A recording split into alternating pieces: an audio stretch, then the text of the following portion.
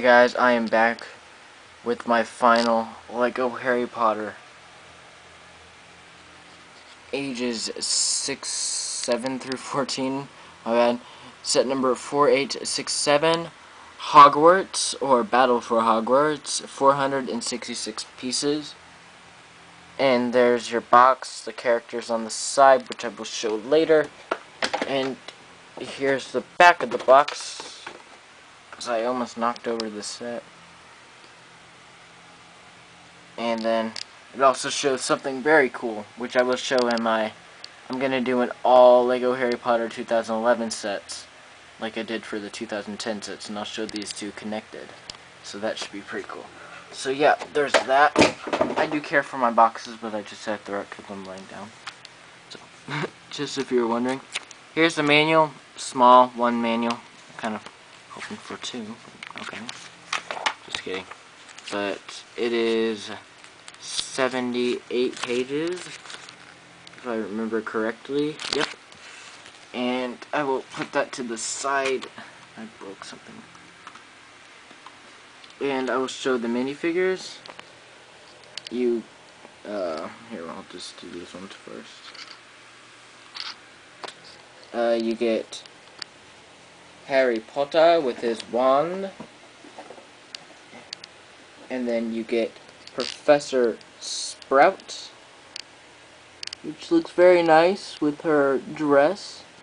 And you get a, another Dementor, which I have three now, so that's pretty cool. And then I will switch the back. Nice tan hat on her. And she has back printing. And yeah we have Neville Longbottom right here. And next to him is Professor Lupin. Or, I guess he's not, you know, he's a guy from the third movie, or the third book, that is a werewolf.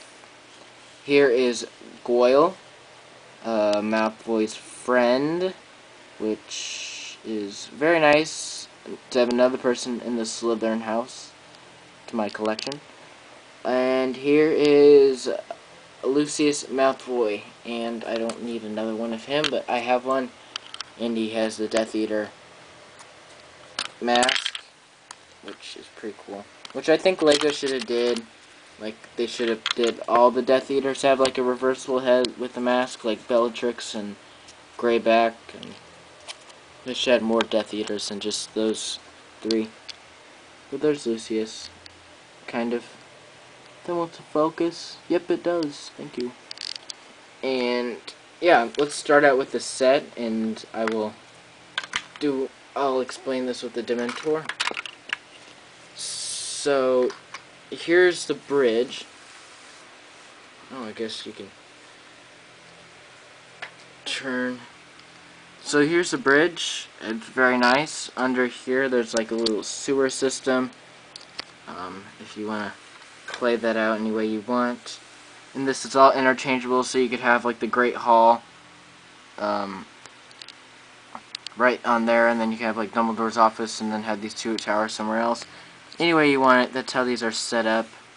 Um, right now I'm going to show you this little gear trick back here that you turn, and then it blows up the bridge, and then it has this fire. And it's pretty cool. It works with this little turning thing back here, which I'll show you uh, in a couple minutes. So I'm going to set this down so I can pull off one of the towers. And I'll do the tower that you build first. And I can do this without breaking it. And then, yeah, tower number one which is very nice. Matches Hogwarts Castle because this is supposed to be Hogwarts Castle. This is where the tower where Dumbledore got killed by Snape and fell down to the ground, which they didn't do anything to help him. They just let them, him fall, which is very nice. Little rocks. I think this is supposed to be kind of like on the water, where the water hits the rocks and stuff, and then they had like the bridge. That's just what I think Lego did. And then under here you have your little sewer system where you can hide the Death Eaters, getting ready for the students to go to sleep so they can wreak havoc on Hogwarts. And here's Gryffindor Commandery with two beds, which is pretty cool. So they added a commandery. I know they had like the little lounge room in the Hogwarts Castle, if you remember that. And then here they have like the beds, and which is very nice with Gryffindor colors. And then you could uh, also, I bet you could recreate this tower if you bought a second set, and then like you could switch out the colors to um, black and green to make Slytherin if you wanted to. And then there's like a blank space, so you could take out the bed and do whatever you want in there. Up here, here's a little. I would think it's like another extension to the um, observatory, um, and then because there's like the Earth, so you can like look up at the stars at nighttime. I guess yeah, it spins. It's a new globe piece that is also in the captain's cabin that I reviewed, which is very nice. So it's kind of nice to have like a mounted one in a building. And then up here we have a little classroom, I guess. I think this is for um, uh, whatever class. I think I don't know. There is a crystal in there. It's kind of hard to see. Let's see if I can get it out. Yes, I can. There's a crystal right there, like a crystal ball, and then this is my second crystal ball piece so I'm happy. And then we had two cups on the side to drink or do potions and look at your future. So there's tower number one. And then we'll switch over here to tower number two. Again, I will set this down and I'll also show you the interchangeable thing. Or you can just pop this out without breaking it. That it's kind of easy, kind of not at the same time. They kind of did a good job with this one than they did on Hogwarts. But here's tower number two. Has a nice ledge. Again, the rocks and the towers. I think I like how they made the towers match and didn't have like two different types of towers. So it's pretty cool. So in here, I'm thinking that this is a mirror or a cabinet. One of the two.